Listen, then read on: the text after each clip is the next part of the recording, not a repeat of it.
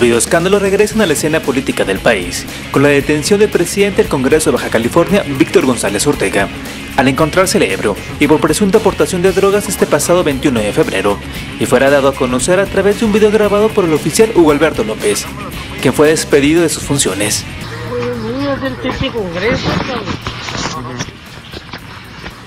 Bueno, ¿cómo le puedo explicar que venimos 20 ahí?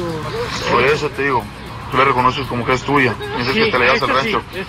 No, es que fuimos a una cabalgata. Llegamos ahorita hace rato. Este hecho suscitó la renuncia del director de seguridad municipal de dicha entidad, luego de que los municipales dejaran en libertad al legislador. Le estoy diciendo, usted como representante, permítame aquí, jefe, aquí. Pero los videoescándalos no es cosa nueva entre la vida política de México. En el 2004, Jorge Emilio González Martínez, mejor conocido como el Niño Verde, se lo chamaquieron, cuando saliera a la luz una conversación en torno a un posible tráfico de influencias en el establecimiento de un negocio en Cancún, donde se planteó darle 2 millones de dólares, uno de los casos más famosos también en el 2004 fue el de René Bejarano, el brazo operador de Andrés Manuel López Obrador, al ser grabado por el empresario y hoy preso Carlos Humada. En las imágenes se aprecia cómo trata de acomodar gruesas fajas de dólares en un maletín, llevándose hasta las ligas. ¿Y quién no recuerda el Vive Las Vegas de Gustavo Ponce, el secretario de Finanzas en tiempo de López Obrador, a quien se le captó apostando en las mesas de blackjack del Hotel Belayo, dejando miles de dólares cuya procedencia aún se desconocen? Parezca jugando en una mesa de blackjack en un casino de Las Vegas detrás de una pila de fichas de las más caras y que además y en Torreón también se generó la polémica con los videos. En enero de 2008, el entonces director de la Policía Preventiva, Alfredo Castellanos, junto al subdirector de la Corporación Juventino López, fueron captados durante una reunión que tuvieron con una bailarina desnuda.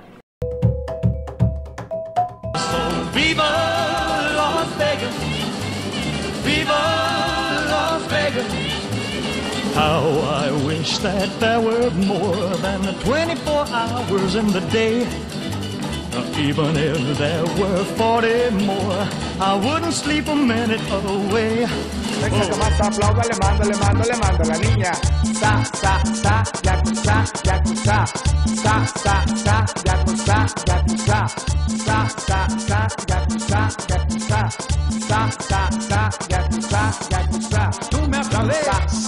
me me